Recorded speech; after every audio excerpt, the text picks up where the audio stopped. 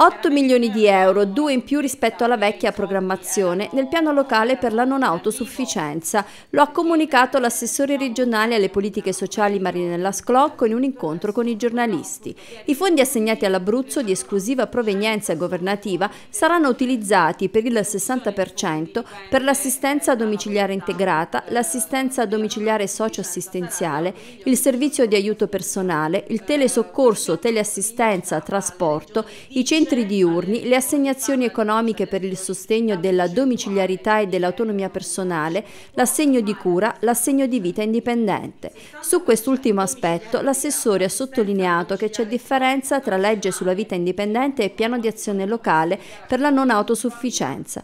Purtuttavia, in accordo con le associazioni, è stato concordato che con questo programma potesse essere finanziata anche una quota per la vita indipendente. Il restante 40% degli 8 milioni di euro, ha aggiunto l'assessore, dovrà invece essere utilizzato per finanziare l'assistenza domiciliare integrata a disabilità gravissima, l'assistenza domiciliare socio-assistenziale disabilità gravissima, l'assegno di disabilità gravissima rivolto alle persone affette da SLA e in condizione di dipendenza vitale.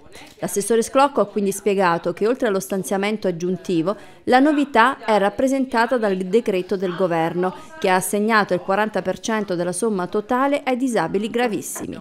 Alla luce di questa nuova decisione, ha concluso l'assessore, è possibile che non tutti i fondi legati al 40% potranno essere spesi. Se ciò dovesse essere, la Regione chiederà al governo di poterli rispalmare sulle restanti voci.